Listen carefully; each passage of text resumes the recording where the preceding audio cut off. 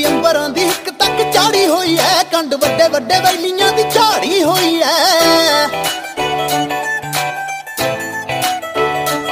ਉਹ ਗੁੱਡੀ ਅੰਬਰਾਂ ਦੀ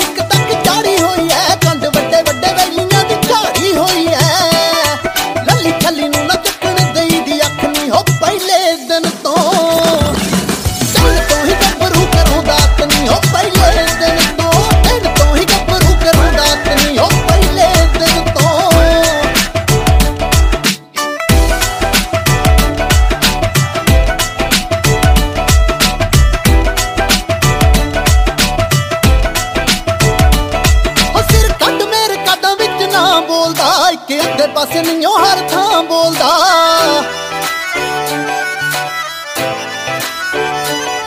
ਸਿਰ ਕੱਢ ਮੇਰੇ ਕਾਢਾਂ ਵਿੱਚ ਨਾ ਬੋਲਦਾ ਕਿਤੇ ਪਾਸੇ ਨਹੀਂਓ ਹਰ ਥਾਂ ਬੋਲਦਾ। ਤੈਨੂੰ ਵੇਖ ਕੇ ਸ਼ਰੀਕ ਸਾਨੂੰ ਨਹੀਂ ਦੇ ਬਤ ਨਹੀਂ ਹੋ